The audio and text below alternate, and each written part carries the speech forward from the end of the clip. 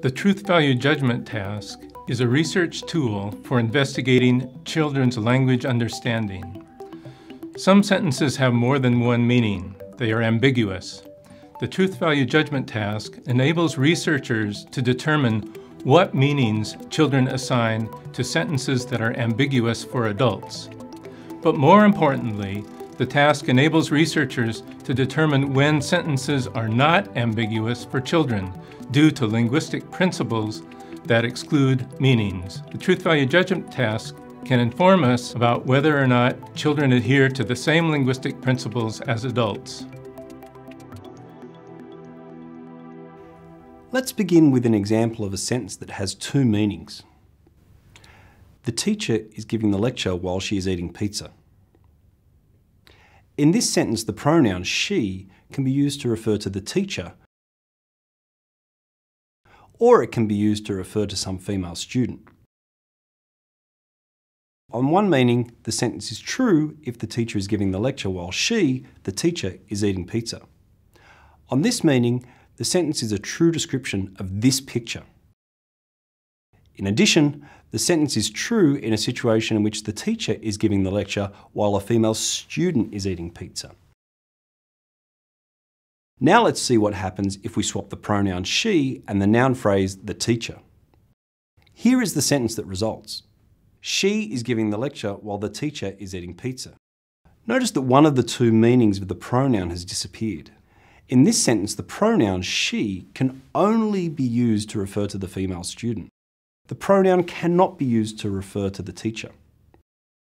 According to linguistic theory, an abstract principle prevents the pronoun she from referring to the teacher in this sentence. But there is another possible explanation. Perhaps the pronoun she cannot be used to refer to the teacher simply because it comes first in the sentence. This explanation will not work, however. To see this, let's make a change to the first sentence again. This time, we will reposition the entire clause that contains the pronoun she. We will move this clause to the front of the sentence so the pronoun she precedes the noun phrase the teacher once again. Here is the sentence that results. While she is eating pizza, the teacher is giving the lecture. This sentence is also ambiguous. Although the pronoun she comes first, it can be used to refer either to the female student or to the teacher. The sentence provides true descriptions of two different situations. Consider the unambiguous sentence again. She is giving the lecture while the teacher is eating pizza. The fact that the pronoun she can only refer to the female student in this sentence cannot be explained by a linear strategy. This constraint on meaning is enforced by a linguistic principle based on sentence structure. This illustrates how linguistic principles can eliminate sentence meanings. Our illustration appealed to your intuitions as an adult speaker of English. However, young children cannot be tested in the same way we test adults. To document children's knowledge of linguistic principles, we need to use a different research tool. This is where the truth value judgment task enters into the equation. The truth value judgment task presents sentences in story contexts. One experimenter acts out the stories and a second experimenter plays the role of a puppet who watches the stories alongside the child. After each story concludes, the puppet says what it thinks happened in the story, we explain to the child that the puppet doesn't always pay close attention to the stories. The child's task is to tell the puppet if it was right or wrong, that is, if the puppet's statement was true or false. In making up a story, there are some important factors to consider. First, it's important to avoid what are called type 1 errors. A type 1 error is when a researcher gets the predicted result but for the wrong reason. To avoid type 1 errors, researchers must stack the cards against their own experimental hypothesis. There are several ways to do this. At this point, I will mention just one way to avoid type 1 errors. Suppose you are talking to a friend, but you don't understand something that your friend has said. There are lots of ways to deal with this situation. For example, you might ask your friend to repeat what he said. But there is one thing that you would not do.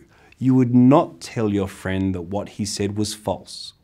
To avoid type 1 errors, the truth value judgment task incorporates this insight that we don't contradict someone if we don't understand what they have said. We use this insight to provide conclusive evidence that children know linguistic principles. Children's knowledge of linguistic principles is revealed if they consistently judge sentences to be false. This is called the condition of falsification. We're about to work through a story. The plot centres around four characters. Three of the characters are involved in a jumping contest Big Bird, Dora, and the Troll. The fourth character, Buzz, judges the contest. Suppose the test sentence is He said that the troll was the best jumper. Suppose the experimental hypothesis is that children know that the pronoun he cannot be used to refer to the troll. The pronoun can only refer to some other male character in the story, Buzz say. The condition of falsification instructs us to construct a story in which Buzz does not say that the troll is the best jumper. In the story, Buzz says that Big Bird is the best jumper. If children know that the pronoun he can only refer to Buzz, then they will judge the test sentence to be false. On the other hand, the story is also constructed so that children will judge the test sentence to be true if they do not know the linguistic principle. That is, children will judge the test sentence to be true if children allow the pronoun he to refer to the troll. This is achieved in the story by having the troll say that he, the troll, is the best jumper. So there are two steps to satisfying the condition of falsification. First, we make the test sentence a true statement about the story if a child lacks the linguistic principle. Second, we make the test sentence a false statement if the child knows the linguistic principle. Another feature of the task is worth mentioning. The story should be constructed to make it clear to the child why the test sentence is false. To achieve this, at some point in the story, it should look as though the test sentence is going to turn out to be true. In the example story, it looks like Buzz is going to tell the troll that he is the best jumper. Of course, for the sentence to be false, Buzz must judge someone else to be the best jumper. In designing stories, we distinguish between a possible outcome and the actual outcome. The possible outcome is that point in the story where it looks as though the test sentence is going to turn out to be true. However, the actual outcome makes the test sentence false. We'll now run through the truth value judgment task. First, the experimenter introduces the setup and the characters. The story should be engaging, so the child will pay close attention to the story and to what the puppet says happened in the story. So, this story, Oliver, is about a jumping competition. Okay? Now we've got Buzz here. Buzz is the judge. Okay, he's the judge because he won the jumping competition last year. So this year he gets to be the judge. All right, and these are the people taking part in the competition. Okay, so let's see who we have. The judge introduces a prize that goes to the winner. The prize is coloured pasta. The judge also explains what the contestants must do to win the prize. All right, guys. So today we're, we're going to have a jumping competition. Okay, so we've got these things for you to jump over. We have a log, we have some barrels, and we have a bench. All right, and each of you are going to have a turn at jumping over these things. And then at the end, I'm going to decide who was the best jumper, and I'll give that person a piece of coloured pasta. Okay? The contestants take turns at jumping. Dora goes first. We're going to have Dora. Okay, so Dora's going to go first. But she's not successful. All right, well, let's see. Let's see how I go. I'm going to take a run off and run and jump. Oh, just made it over the log. Oh, okay, now there are these great big barrels. Um, let's see how I go. I'm going to jump. Oh, no, I knocked over. I knocked over some barrels. Oh dear. Well, maybe I can finish well with this bench. I'll just jump over the bench. Oh, there we go. All right, well, that wasn't too bad. Next, it's the troll's turn. turn troll? The troll completes the course successfully. All right, my turn. Let's see, I'm pretty good at jumping. So I'm just going to take a run off and I'll just run and jump over the log. That was pretty easy. And now, let's see, these barrels are bit tall. They might be a bit harder, but I'll try my best. I'll just run, jump. Oh, I made it. I made it over the barrels. Oh, and now the bench, jump. Oh, I did it. All right, that was pretty good, I think. I'll just stand over here with Dora. All right, good work, troll. Now, Now it's your turn, Big Bird. Now it's Big Bird's turn. Big Bird clears all the obstacles and in record time. So I just gonna run and jump. And that was pretty easy. And now just jump over the barrels and jump over the bench. All right. Buzz then considers the performance by Dora and the troll. Well, Dora, I'm afraid you knocked over some of the barrels, didn't she? So I'm afraid you can't win, okay? So you're out of the running for being the best jumper. Now you troll, you managed to jump over everything. So that was really good. Um, but so you could be the best jumper, but I'm gonna have to have a think about how Big Bird went first, okay, before I decide. Buzz's comment about the troll establishes the possible outcome. That is, at this point in the story, it's reasonable to suppose that Buzz will say that the troll is the best jumper. This part of the story introduces the actual outcome. Buzz judges someone other than the troll to be the best jumper. This satisfies the condition of falsification.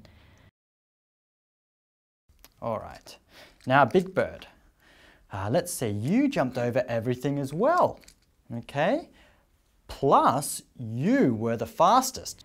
The child has reminders of what happened in the story because Buzz puts a piece of pasta in front of Big Bird. Okay, so you are the best jumper. I'm going to give you coloured piece of pasta. There you go, for being the best jumper.